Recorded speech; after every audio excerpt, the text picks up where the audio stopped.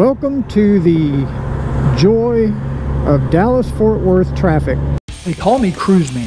I've put more than 150,000 miles on Honda Goldwings, riding all over this amazing country. Thousands of Goldwing owners have used my videos to guide them when working on their own bikes or considering which aftermarket products to purchase.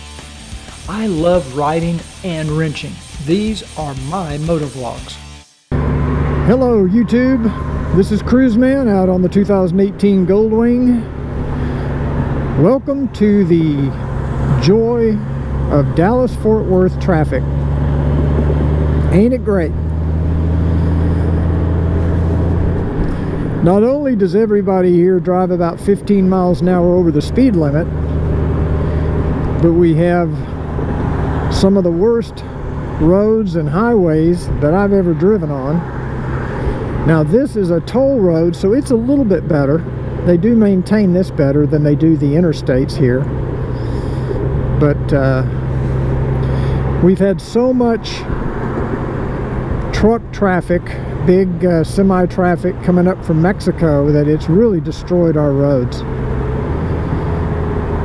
And the worst uh, section of I-35 is between Dallas, Fort Worth, and Austin. It's it's just too dangerous uh, to ride on a motorcycle. I, you see ruts all the time that are three or four inches deep and about three or four inches wide, five inches wide, just wide enough for a motorcycle tire to get down in. And man, I'm telling you, you don't want that to happen. Just a little refresher. Last week, uh, last Friday, Chris Caliente and Brother Cowboy and Jason Brown and Bubba Smith were all in cahoots with me for a ride, a short ride. We rode up to uh, Cycle Gear in Bedford, Texas. I think in my first video I said it was Euless. It's actually Bedford. Somebody corrected me. Thank you for correcting me, Road Glide. And uh, I get confused because Bedford and Euless, I never know where one ends and the other one begins. They're right next to each other. They called the mid-cities, Hurst, Euless, Bedford or HEB, I should say. I'm on my way to Arlington, Texas. It's a little bit different uh, view for you. Instead of me going to the post office, I'm actually uh, on my way to Arlington, Texas to go to the dentist. Believe it or not, I've been going to the same dentist for over 20 years. And we used to live in Arlington. So for the last 16 years, I've been driving or riding the bike. I usually go on the bike from Carrollton to Arlington, which is about a 45 minute drive. So I guess it'd be easier to go to a dentist a little closer to home because they're on every corner now. At least Obamacare didn't take away my dentist. They took away my doctor, but they didn't take away my dentist. And they took away my insurance like they said they wouldn't do. So they said I was going to be able to keep my doctor and keep my insurance, and I lost my insurance and my doctor. You know, but the good news is the cost of my health care insurance doubled. Today, I wanted to talk to you about the battery tender product. And before I get into that, I would like to ask your help with something. If you enjoy my videos, my motovlogs, my how-to videos, please take a second to click that little subscribe button down below. And if you click on the little bell icon, YouTube will notify you when we come out with new videos, which is pretty regular basis. And we'll be coming out with a lot more videos now that spring and summer and riding season is here, especially motovlogs. So let's talk about the battery tender. This is a device that is designed to keep your battery charged at a nice full level when you're not riding and you basically plug it in to a wall socket, a 110 socket. Now I have the battery tender junior. I use the small one. Uh, but they all work the same way. They have their own kind of proprietary little two-pin plug and you install one end on your battery and the other one connects to the battery tender itself and you plug that into your wall socket and then when you connect the two, this little device will kind of keep your battery fully charged and in good condition. Now, you might ask yourself, what is the advantage of using this? Do you really need this?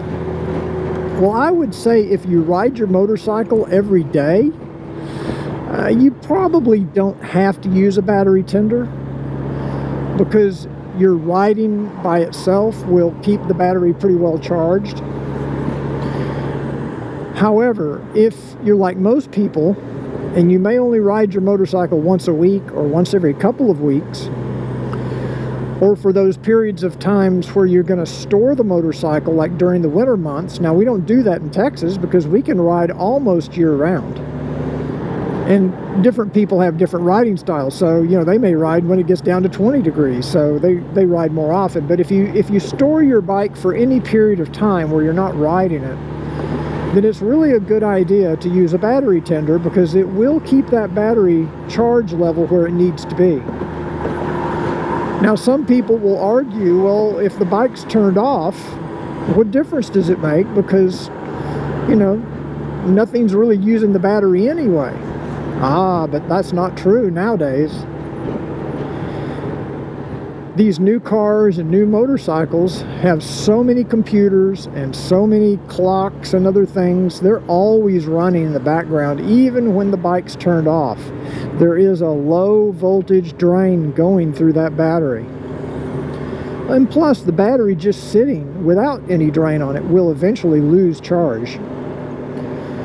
So, a battery tender is a good idea. Now, I want to, you know, make this uh, disclaimer. I'm referring to a traditional typical battery like I have on my Goldwing, like comes from the factory. If you've replaced your battery with a lithium ion or one of these new lightweight different style batteries, I don't really know. Uh, you may, if a traditional battery tender will work on that style battery, you may have to have one specifically designed for a lithium ion battery. Of course, you want to make sure you get the correct battery tender for your motorcycle and your application. Uh, they do make battery tenders for 6 volt batteries, and obviously that's not going to work on a Goldwing battery or most motorcycle batteries today because they're going to be 12 volt batteries.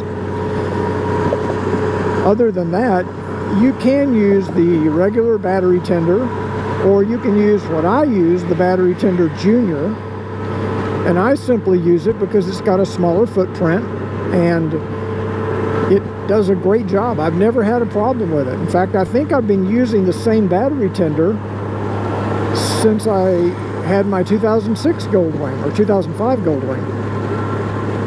So I've had this battery tender for, gosh, I know more than 10 years. So they're very reliable, and I think they do a great job, and I'm a big believer in the battery tender. Now let's talk about hooking it up. First of all, some people ask me all the time, is it safe to hook one up to the 2018 Goldwing because of the CAN bus electrical system? Well, the battery tender is actually connecting directly to your battery, so it's uh, you might say in front of the CAN bus system. It doesn't, it never interacts or uh, comes in contact with CAN bus. It's, or your motorcycle's electrical system for that matter, it's simply connecting to the battery terminals and powering it from there. So yes, it is safe to use a battery tender on a 2018 Plus Goldwing. Well, you can hook it directly to the battery terminals, which is what most people do. You have a, a, positive and a negative cable, and the positive cable has a, I believe it's a seven and a half volt or seven and a half amp fuse. And you can connect those terminals directly to your battery. That's one way. However, if you have an isolation fuse block like the one from Show Chrome, like I have, you have the option of connecting the battery tender to one of the hot connectors on the fuse block, which is what I did. The reason I connected my battery tender terminal or wires to the fuse block was because I, I didn't want to have a lot of different things connected to my battery terminals. And since I already have the isolation fuse block wired to the positive and negative on the battery, I just didn't want to hang a bunch of different things off of the battery terminals. So fortunately, you've got two, what they refer to as hot connectors, terminals, that are fused on this uh, isolation fuse block. One of them is a 5 amp and one of them is a 10 amp. And you can see they're clearly marked. You can look at the fuse and it'll show you which one is which. And so I hooked up to the 10 amp fuse and that's where my battery tender wire is connected to. Now I was able to route the cable and the little connector that connects to the other end of the battery tender you can route it out through the small opening in the side panel. Believe it or not, there is a way to route that little connector through that opening without cutting anything or drilling anything. You just it'll just it'll fit right through there. And it just kind of sits there. You can kind of tuck it up out of the way when you're not using it. And then when you need to connect it, you just kind of pull it out and hook it up. Now some people let it hang out kind of under the seat and you can do that uh, there's always a chance that it's going to rub the paint of your side panels. And I don't want to do that so I decided to run it out through that little uh, decorative you might say a decorative opening on the side panel. But you can hook it up you know wherever you want to. That's just the way I did it. It's going to work the same no matter where you put it and so what I typically do is if I know I'm not going to be riding the bike for more than two or three days, I'll go ahead and hook up the battery tender because it's not going to hurt your battery. You could hook it up every night, even if you ride every day. It's not going to harm your battery. It's only going to do it's only going to do good things, not bad things. So I'm a big believer in the battery tender and I think you should consider getting one. So that's, I'll also put a link down below in the description of this video. If you look at the description on YouTube, I'll put a link uh, where you can purchase the battery tender that I have through Amazon.com. Don't you love this traffic? Now, I, I've got to include a shameless plug for my 2018 Plus Goldwing videos. I know I've mentioned it before in my other motovlogs that right now, in March, we've got this spring riding promotion. If you want to save 20% on the full set of maintenance videos, now's the time to do it because this is a limited time offer. You just have to use the word spring at checkout when you buy the videos on Vimeo.com. And all, the, the spring promotion's also good on the 2001 to 2017 Goldwing videos. But I do appreciate your comments. I do appreciate your involvement. And I'm not looking forward to the rest of this traffic. And I'm not exactly looking forward to the dental appointment. But who does? So that's all for now. Until next time on Cruiseman's Motovlogs.